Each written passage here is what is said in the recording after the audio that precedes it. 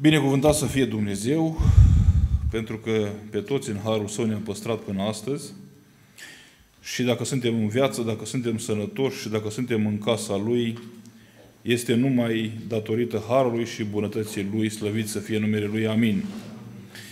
Uh, mesajul meu o să fie un pic diferit de ceea ce a predicat fratele Octav, dar uh, tot din Scriptură și uh, mesajul lui încurajator pentru noi, cred că a fost și Dumnezeu vrea ca să mergem înainte și să biruim, pentru că El a biruit. În slujirea noastră, așa cum spunea, sunt și momente și stări de um, extaz, sunt și stări mai puține, fără extaz, dar așa e împletită viața de slujire și lupta noastră pe pământ, lupta credinței, trebuie să o ducem până la sfârșit. Chiar dacă are urcușuri și coborâșuri. Și în această dimineață m-am gândit la un subiect care de câteva luni de zile mă tot gândesc la el, mă macin așa și cumva parcă eram dator sau suntem datori ca și slujitori să aducem în biserică anumite învățături ca să protejăm biserica de anumite învățături greșite, ale unor uh, învățători mincinoși, greșiți, care au început să răsară în contextul nostru.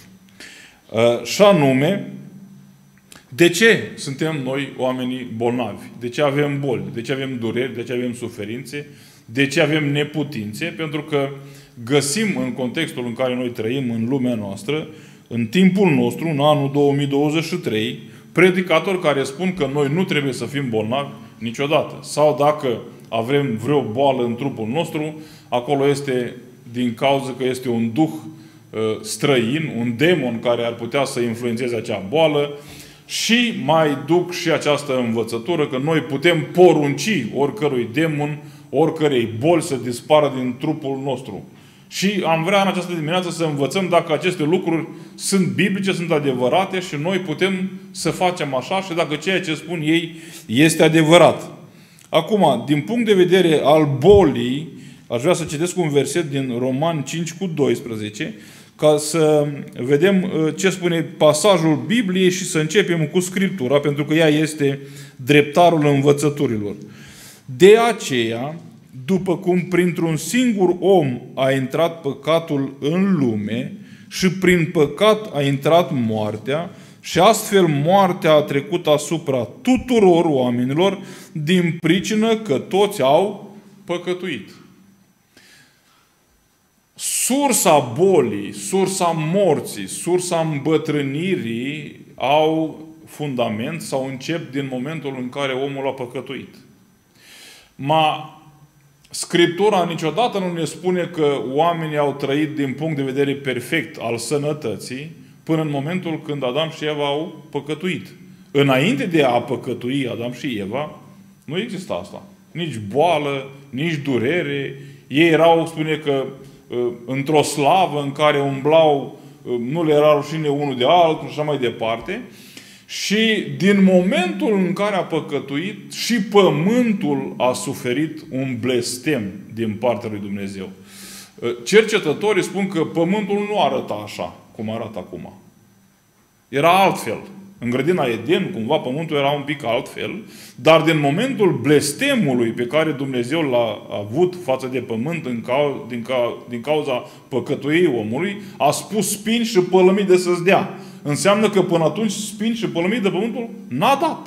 Și multe lucruri care sunt acolo în text, cu sudoare să-ți câștigi existența, sudoare nu era și trupul omului era într-o stare perfectă și de aceea, pentru că omul a păcătuit, a intrat prin păcat în lumea noastră boala, nemuri, mur, moartea, neputințele și așa mai departe. Deci trebuie să știm de la, de la bun început că Dumnezeu a lăsat asta pe pământ consecință a păcatului. Noi nu suntem bolnavi numai decât pentru că am păcătuit. Și o să vedem din Scriptură că nu întotdeauna bolile care vin în trupurile noastre sunt o consecință a păcatului, ci sunt și consecințe pe care noi, din punct de vedere spiritual, nu le trăim cum trebuie, apoi ne facem rău boli, dureri din cauza alimentației, din cauza muncii excesive, din cauza multor lucruri care ar putea să provoace în trupul nostru vreo boală. Și apoi există și din partea lui Dumnezeu câte o, câte o atenționare care să ne mai tragă cumva înspre El. Ă, ați întâlnit, cred că, oameni care spun, mă, dacă nu mă îmbolnăveam, eu nu mai avem timp să mă gândesc la Dumnezeu. Și spunea cineva odată că din poziția de orizontal cerul se vede mai bine. Că dacă stai toată ziua în picioare, ochii sunt înspre pământ, aici, la lucrurile de jos, dar când Dumnezeu te pune printr-o boală la orizontal, te mai poți uita și spre cer. Te gândești, de ce a venit boala? Ce învăț de aici? Cine a lăsat-o? Apoi avem exemplul lui Iov în care Dumnezeu îngăduie pe Satan să-i facă un rău și un rău destul de mare. Dar nu pentru că Iov a fost un păcătos, nu, ci pentru ca Dumnezeu să-l testeze prin această situație și apoi Petru ne spune nouă încercarea credinței voastre care e cu mult mai scumpă decât aurul, care trece prin foc, da, zgura trebuie să se ducă, Dumnezeu îngăduie anumite stări în viața noastră și noi fiecare dintre noi avem stările noastre. Chiar mă gândeam ieri la câte probleme am eu în trup acum. Am foarte multe. Și foarte grele. Dar le duc așa, mai cu medicament, mai cu nu știu ce, cu rugăciune, Dumnezeu îmi dă putere și merg înainte. Și mă gândesc, ce pot să învăț eu din asta? De ce Dumnezeu le lasă? Ca să mă cert cu Dumnezeu de ce lasă boala în trupul meu? Sau să iau acele informații pe care le spune unui predicator și spun, tu n-ai voie să fii bolnav. Tu n-ai voie să ai minus în bancă. Tu n-ai voie să ai uh, multe lucruri care le spun ei, pentru că tu ești creștin. Dumnezeu nu ne uh, uh, garantează așa ceva. Ci, din contra, Domnul Iisus ne spune că în lume veți avea necazuri. În, în lume vom avea necazuri. Noi nu vom trăi perfecți. Și la un moment dat găsim tot în Cartea Împăraților despre Elisei, omul lui Dumnezeu, care spune că s-a îmbolnăvit de o boală grea și a murit. Și nu numai el, dar ca exemplu. Deci pentru noi creștinii nu ne este garantat un trup perfect sănătos. Și spuneam cândva altă dată, noi dacă am trăit perfect într-un trup sănătos, 100%, noi am zburda în lumea asta și n-am mai avea treabă cu Dumnezeu niciodată. Pentru că nu ne mai atrage nimic înspre a ne gândi la Dumnezeu. Sunt sănătos, am bani, nu mă pot îmbolnăvi, am casă, am servici, eu merg. Dar la un moment dat, tot vom muri într-o zi. Cât de sănătoși vom fi. Chiar îi spuneam cuiva odată că îmi spunea el cum să mănânc, ce să fac și așa mai departe. Și am zis, tu o să mori sănătos tu o să mori sănătos. Pentru că tu mănânci doar sănătos, dar într-o zi o să mori sănătos. Că n-ai cum. Chiar dacă ești sănătos 100 de ani, tot vei muri. Așa că păcatul a adus în lumea noastră boala, neputința și moartea. Și un lucru pe care vreau să-l spun e, vă rog să mă credeți că nu vom putea în 5-7 mesaje să acoperim toată această gamă, pentru că e foarte vastă în Biblie. Dar eu am ales așa un curs ca să aduc câteva idei pentru noi și apoi câteva soluții cum putem scăpa de anumite situații din viața noastră. Îi spune în rugăciune Pavel lui Dumnezeu, pentru că i-a pus un țepuș, de ce? De ce i-a pus Dumnezeu un țepuș lui Pavel în, în trupul lui, în carne? Ca să nu se să nu se mândrească. Iată că perfecțiunea trupului, sănătoșirea noastră ă, perfectă, ne poate aduce la un, la un soi de mândrie. Dar la Pavel nu era din cauza sănătoșirii lui sau a perfecțiunii trupului lui, ci din cauza unor descoperiri pe care Pavel le-a avut, s-a dus acolo, în al treilea cer, spune Scriptura. A văzut ce a văzut, a venit înapoi pe pământ, el spune, nu știu, în Duhul, cu trupul am fost plecat cum am fost plecat, dar Dumnezeu, pentru ca să nu se îngânfe și să nu se mândrească, îi pune un țepuș în carne. Și el îi spune, Doamne, vreau să dispară țepușul ăsta că e incomod. Și Dumnezeu spune un lucru extraordinar pe care eu l-am învățat anul ăsta și îi mulțumesc lui Dumnezeu că m-a învățat. Harul meu ți este de, a, de ajuns. În orice situație, în orice boală am fi noi, dacă harul ne este suficient, și Domnul Isus ne este suficient, noi putem trece peste orice obstacol din viața noastră. Săptămâna cealaltă am văzut o expresie scrisă în felul următor. Anii grei ai căsătoriei sau anii grei ai familiei. Și m-am gândit eu, or fi ani grei într-o familie? Or fi luni grele într-o familie? Și atunci am început să mă gândesc. Dacă doi oameni sunt mântuiți și amândoi stau pe principiile lui Dumnezeu și amândoi au ca scop ajungerea în rai și amândoi slujesc lui Dumnezeu și amândoi au copii și au o familie. M-am gândit eu, orice greu ar veni, orice situație ar veni, dacă ei se iubesc, dacă ei se iubesc și se respectă și merg înainte împreună cu Dumnezeu, soț, soție, pot să treagă prin orice situație grea din viața lor. Eu am stat și m-am evaluat pe mine și am, m-am gândit eu, la 20 de ani de căsătorie, oare am avut ani grei, așa de greu că n-am mai putut să răzbesc și la un moment dat să-mi vină în minte anumite lucruri grele? Or fi ani grei în pocăință, așa de grei încât noi nu mai putem să mergem înainte? Deci, din punct de vedere al familiei, dacă doi oameni sunt mântuiți, se iubesc și amândoi se respectă și merg înainte cu Dumnezeu, vor veni necazuri, vor veni probleme, așa cum vorbim acum, vor veni boli, vor veni situații, dar împreună vor birui 100%. Spunea cineva de o familie din Brașov, au avut un singur copil și la 15 ani copilul a avut un accident de mașină și a murit. Era cu alții în mașină și a murit. Și atunci părinții au spus, noi nu mai mergem la adunare. Dacă Dumnezeu ne-a făcut nouă situație asta, noi nu mai mergem la adunare, ne depărtăm de adunare, pentru că Dumnezeu nu ne iubește, am avut un singur copil și pe acela ne l-a luat și încep să-L vinovățească pe Dumnezeu. În situația asta, sau în alte situații, dacă harul lui Dumnezeu ți-i de ajuns și Hristos tu suficient, tu poți să cânți în orice situație și să spui slăvit să fie Dumnezeu. Asta e maturitate, asta e echilibru, asta e cunoașterea lui Dumnezeu. Harul meu ție de ajuns. Ai un țepuș? Da, lasă-l acolo. De ce? Am eu un scop cu el. Dumnezeu are un scop cu noi, cu fiecare dintre noi. Mai poate exista o cauza a bolii și haideți să mergem în 1 Corinteni, în capitolul 11, în care în versetul 30 spune așa Din pricina aceasta sunt între voi mulți bolnavi. Din care pricină? Hai să ne uităm mai sus. Pentru că ori de câte ori mâncați din pâinea aceasta și beți din paharul acesta, vestiți moartea Domnului până va veni El. De aceea, oricine mănâncă pâinea aceasta sau bea paharul Domnului în chip nevrednic, vinovat de trupul și sângele Domnului. Pune mai departe. Fiecare să se cerceteze dar pe sine însuși și așa să mănânce din pâinea aceasta și să bea din paharul acesta.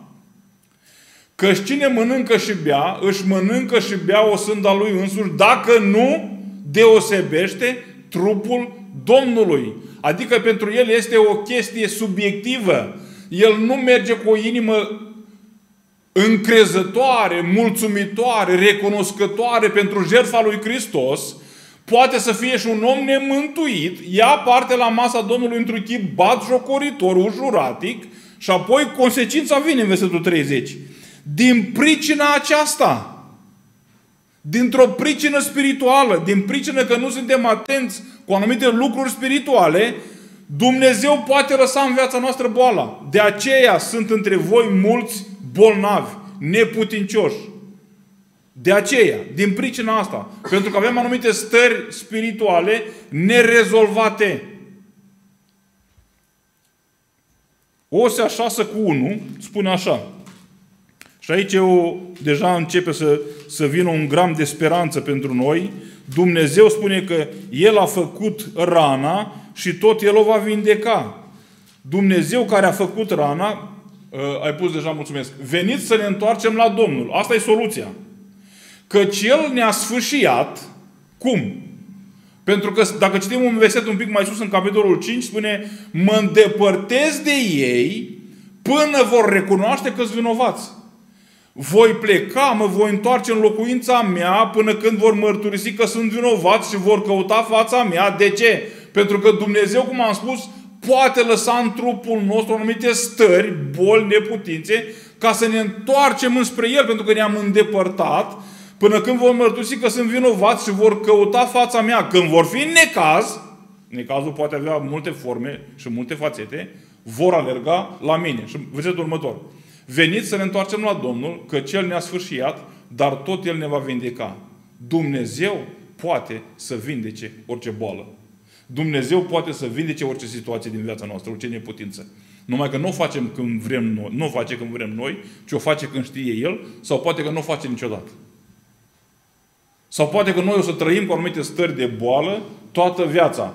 Ce raport am eu față de Dumnezeu ca și creștin? Doamne, îți mulțumesc pentru boala asta sau mă cert cu Dumnezeu în fiecare zi de ce îmi dai asta, nu pot să fac din cauza bolii asta, nu pot să acționez așa, nu pot aia, nu pot aia, pentru că sunt bolnav, pentru că Tu mi-ai dat cumva boala în trupul meu. Nu. Noi trebuie să avem o, o atitudine corectă față de Dumnezeu și dacă ne uităm la Domnul Iisus care deja a fost amintit de fratele Octav în Ghețimani, durerea aceea, pentru că Tatăl și-a întors fața în momentul când Domnul Iisus a fost răstignit, toată povara păcatului, dacă e voia ta, s-a rugat Domnul Iisus.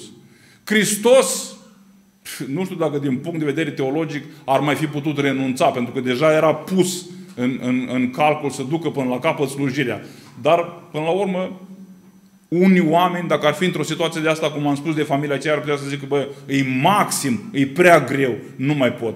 Și mă lepăd, mă întorc și abandonez totul. Ar putea un om să facă așa. Hristos a zis, dacă e voia ta, și noi am putea să ne rugăm, Doamne, am o problemă în trup. Dacă e voia ta, vindecă-mă. Dar dacă voia ta nu este să mă vindeci, înseamnă că tu ai un scop ca să mă ții cumva smerit și supus lângă tine. Și îți mulțumesc pentru harul tău și îți mulțumesc pentru Domnul Isus Hristos, pentru că ei mi suficienți. În toată lucrarea Domnului Isus Hristos de mântuire și de vindecare pe care a făcut-o în lucrarea lui terestră, ne demonstrează și ne spune că există o împărăție care nu există boală, nu există suferință și de fapt El vrea să ne ducă acolo. Pentru că aici, din cauza păcatului și a morții și a bolii și a durerilor care sunt, Hristos vrea să ne scoată de aici și să ne ducă acolo. Ți suficient harul? ți suficient Hristos? Acceptă orice în trupul tău pentru că Dumnezeu le îngăduie acolo. La un moment dat, Domnul Iisus Hristos mai spune ceva în Matei, că nu cei sănătoși au nevoie de doctori, ci cei bolnavi. Iată că Domnul Iisus Hristos cumva recomandă și pe medici. Ai o boală, du-te la un doctor. Dea un tratament, să-ți facă o operație. Mi-aduc aminte, după ce m-am căsătorit, m-am îmbolnăvit la un an de zile. Am făcut hernie de disc.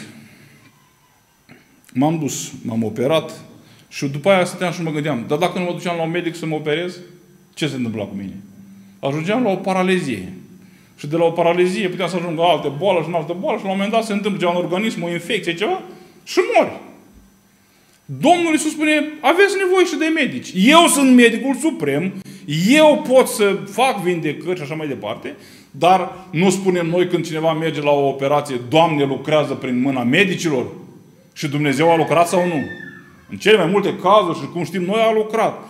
Dar un adevăr dureros, care vreau acum să-l spun, e pentru noi toți asta, și moartea este o vindecare. Dumnezeu ne poate vindeca și prin moarte. În momentul când și sunt oameni atât de bolnavi, atât de multe boli au în trupul lor și suferința lor la bătrânețe, încât își doresc, Doamne, vreau să mor ca să scap odată de durere și de probleme și de necazuri. E adevărat?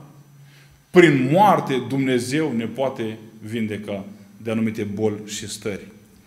Vindecarea principală pe care Dumnezeu o vrea pentru fiecare om nu este mai întâi vindecarea trupească, ci vindecarea sufletească și mântuirea lui. Și haideți să mergem prin câteva pasaje, pentru că sunt foarte interesante și pentru mine le-am luat ca model din Scriptură și vreau să vedeți câteva lucruri interesante pe care uh, vreau să le spun din Biblie și veți vedea că toți avem de lucru cu noi. Cu noi. Noi toți avem de lucru cu noi, da? Primul pasaj este din Proverbe, capitolul 3, versetele de la 1 la 10, care spun în felul următor. Și gândiți-le în aspectul acesta al, al uh, atitudinii mele prin a împlini cuvântul lui Dumnezeu ca să primesc vindecare.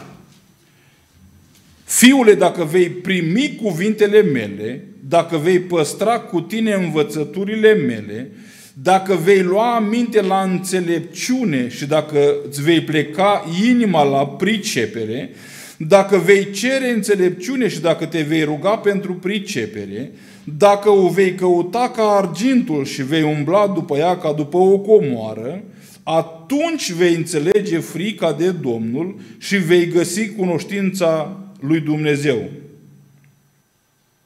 Pardon, am citit greșit. Din capitolul 3, am citit din capitolul 2. Fiule, nu uita învățăturile mele și păstrează în inima ta sfaturile mele, că cele îți vor lungi zilele și anii vieții tale îți vor aduce multă pace. Să nu te părăsească bunătatea și credincioșia. Leagă-ți-le la gât, scrie-le pe tăblița inimii tale și astfel vei căpăta trecere și minte sănătoasă înaintea lui Dumnezeu și înaintea oamenilor. Încrede-te în Domnul din toată inima ta, nu te bizui pe înțelepciunea ta, recunoaște-L în toate căile tale și El îți va netezi cărările. Nu te socoti singur înțelept, temete de Domnul și abate de rău. Concluzie. Aceasta va aduce sănătate trupului tău și răcorire oaselor tale. Care aceasta? Exact ce am citit anterior. Tot pasajul de la versetul 1 din capitolul 3 până la versetul 8, dacă facem așa, aceasta va aduce sănătate trupului nostru și răcorire oaselor noastre. Apoi dacă luăm fiecare expresie în contrariu, am putea să gândim, dar dacă mă consider eu singur înțelept, eu sunt singurul înțelept de pe lumea asta și eu spun că singurul înțelept și mai departe. Va aduce asta cumva în trupul meu ceva bun? Nu, va aduce ceva rău. Apoi spune, recunoaște-L uh, pe Dumnezeu în toate căile. Păi eu nu-L recunosc pe Dumnezeu în toate căile. Asta îmbolnăvește trupul, îmbolnăvește sufletul.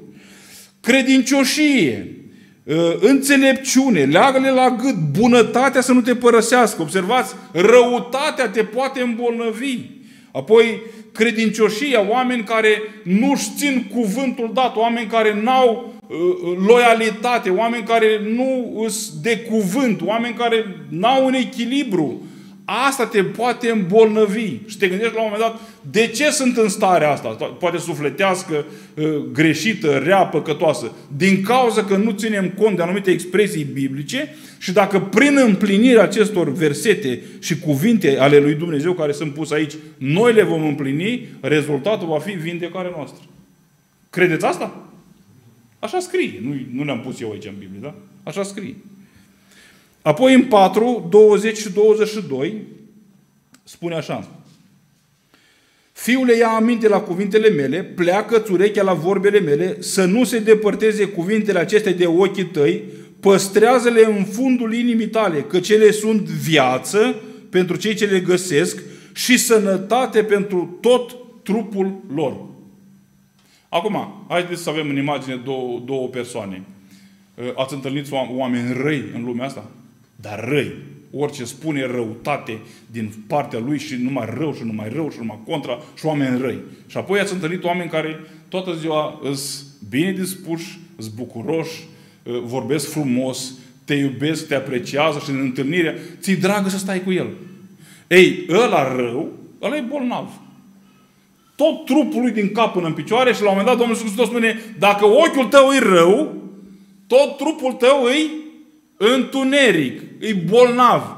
Dar dacă ochiul tău și mintea ta sunt sănătoase, trupul tău, chiar dacă are o suferință de aici colo, dar tu ești bucuros în sufletul tău, în mintea ta, pentru că ești, ești cu Dumnezeu și ești cel care îndeplinești cuvântul lui Dumnezeu, care îți aduce răcorire oaselor tale.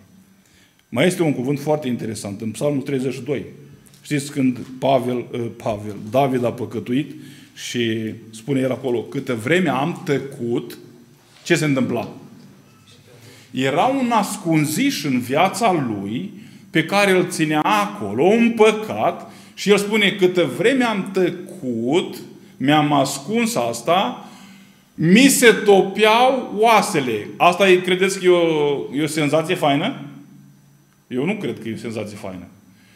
Așa a pus-o Cornelescu în traducerea lui, nu știu nevrită cum sună, dar e destul de, e destul de înțeles, uh, pe înțelesul nostru ca, ca români, acum cum citim, mi se topeau oasele de gemetele mele necurmate. Și spune textul zi și noapte. Zi și noapte mâna ta apăsa asupra mea și asta nu e o senzație deloc plăcută, pentru că în momentul și vindec, vindecarea pe care David ne-o prezintă, spune, atunci ți-am mărturisit păcatul, am scos afară din trupul meu povara asta și a venit, a venit vindecarea. Dumnezeu să ne binecuvinteze, să înțelegem că lucrurile acestea sunt adevărate și Scriptura ne vorbește despre ele. Mai mergem într-un pasaj foarte frumos, iarăși are un înțeles foarte pătrunzător. Isaia 58, când e vorba de post. Da? Isaia 58, versetele de la 6 la 8. Iată postul plăcut mie. Și acum o gândim în ideea asta de sănătate, da? Dezleagă lanțurile răutății. Ce spuneam mai înainte? Că răutate te poate îmbolnăvi. Ești rău? Te controlează răutatea? Spune pasajul, dezleagă lanțurile răutății. Deznoadă legăturile robiei. Ții pe cineva rob în mintea ta, în sufletul tău, urăști, bârfești, dezleagă asta, spune cuvântul. Dă drumul celor asupriți și rupe orice fel de jug. Împarte-ți pâinea cu cei flămânzi, înseamnă să fii darnic, și adun casa ta pe nenorociții fără adăpost. Dacă vezi un om gol, acoperă-l, îmbracă-l și nu întoarce spatele semenului tău. Concluzia, rezultatul, atunci lumina ta va răsări ca zorile și vindecarea ta va încolți repede. Neprihănirea îți va merge înainte și slava Domnului te va însoți. De ce trebuie să facem asta? Să dezlegăm, să dăm drumul, să, rup, drumul, să rupem, să ne depărtăm de orice fel de juc. Dă pâine, fii un om darnic, împarte-ți pâinea, acoperă-l, ajută. De ce? Toate astea le faci dintr-o poziție de om mântuit, de om salvat și nu e așa că Biblia spune, e mai ferice să dai decât să primești. În momentul când dai cu bucurie, când te investești în oameni, ai satisfacția asta, bucuria asta interioară. Și asta aduce vindecare. Numai când facem lucrurile astea din Scriptură, atunci va răsări lumina ca zorile și vindecarea va încolți în viețile noastre. Binecuvântat să fie Dumnezeu. Și să aducă în viața noastră această vindecare spirituală. Trupul se trece. Trupul acesta, și o să vedem mai îndată un pasaj care ne ajută foarte mult. În 2 Corinteni 5, de la versetul 1 la 4, cuvântul spune așa. Știm în adevăr că dacă se desface casa pământească a cortului nostru trupesc, avem o clădire în cer de la Dumnezeu. O casă care nu este făcută de mână, ci este veșnică. Și uitați expresia. Și gemem în cortul acesta. Și asta nu e o lună, două. E cam toată viața. Avem dorința să plecăm de aici și în context găsim și natura suspină, pentru că natura a suferit o transformare, ceea ce spuneam de la început. Dumnezeu când a blestemat pământul și natura suspină și vrea o reînnoire. Și trupul nostru gemem în cortul acesta plin de dorința. Care e dorință? Să ne îmbrăcăm peste el cu locașul nostru ceresc, cu trupul de slavă pe care Dumnezeu l-a pregătit pentru noi. Dă mai departe, te rog. Negreșit dacă atunci când vom fi îmbrăcați, nu vom fi găsiți dezbrăcați de El, și aici Pavel se referă la moartea trupească, chiar în cortul acesta, deci gemem apăsați. Nu că dorim să fim dezbrăcați de trupul acesta, ci să fim îmbrăcați cu trupul celălalt peste acesta, pentru că ce este muritor în noi să fie înghițit de viață. Binecuvântat să fie Dumnezeu. Eu îmi doresc momentul ăla. Fie că voi trece prin moarte și voi fi pus în pământ, fie că va veni răpirea în timpul vieții mele, îmi doresc ca trupul acesta muritor, păcătos, pentru că firea pământească este în noi, din cap până în picioare, în fiecare zi, până murim, nu scăpăm de ea, și tot ce este muritor, păcătos, bolnav, neputincios, într-o zi va fi înghițit de viață. Slăvit să fie Dumnezeu. Și eu tare mă bucur de asta. Și apoi mă întorc înapoi în Isaia 61. Avem aici trei versete foarte frumoase. Ă, ne îndreaptă înspre Domnul Isus Hristos. Isaia 61. Duhul Domnului Dumnezeu este peste mine, căci Domnul m-a uns să aduc vești bune celor nenorociți, El m-a trimis să vindec pe cei cu inima zdrobită, să vestesc robilor slobozenia și prinșilor de război izbăvirea. Să vestesc un an de îndurare al Domnului și o zi de răzbunare a Dumnezeului nostru, să mângâi pe cei întristați, să dau celor întristați din Sion, să dau o cunună împărătească în loc de cenușă, un undelem de bucurie în, loca, în locul plânsului, o haină de laudă în locul unui duh mâhnit, ca să fie numiți terebința ai neprihănirii, un sad al Domnului ca să slujească spre slava Lui. Amin. Atât am avut de spus în această dimineață. N-am vrut să fiu prea complicat, n-am vrut să fiu prea, uh, uh, cum să zic, de neînțeles. Cred că am înțeles ideea. Problema păcatului a adus boală, neputință și moarte. Noi nu vom scăpa de neputințe și de boli. Uite numai dacă nu dormim două nopți. Mi-aduc aminte când lucram șofer, foarte multe nopți n-am dormit. Dormeam așa, câte patru ore când era în autocar.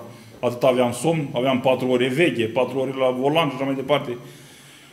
Și câteodată ajungeam acasă, țin minte că o am ajuns acasă din Italia și m-a sunat cineva în timp ce dormeam, m-am trezit, am luat telefonul și am spus că eu sunt la Roma, nu sunt acasă. Deci așa de obosit eram, nici nu mai știam unde sunt prin somn și nebun de, de cap, așa cum spunem noi românii, așa de obosit eram că nu mai știam. Dormi foarte puțin și la un moment dat ești extenuat, nu mai poți.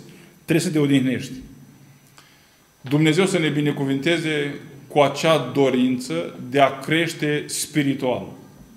Spune Scriptura că noi nu obosim, chiar dacă trupul ăsta se obosește, trupul, uh, omul din lăuntru crește din zi în zi, se înnoiește și avem o putere duhovnicească binecuvântat să fie Dumnezeu. Cred că am înțeles ce avem de făcut, așa că mergând acasă, luând pasajele din Proverbe 3, Isaia 58, să vedem unde avem de lucru. Să dăm drumul, să dezlegăm, să eliberăm, să avem bunătate, să fim înțelepți, să nu ne socotim singuri înțelepți și vom vedea că Dumnezeu aduce înviorare, viață și răcorire în sufletele și în trupurile noastre. Binecuvântat să fie Dumnezeu. Așteptăm de la El vremurile astea de înviorare, punând în aplicare cuvintele Scripturii. Dumnezeu să fie slăvit.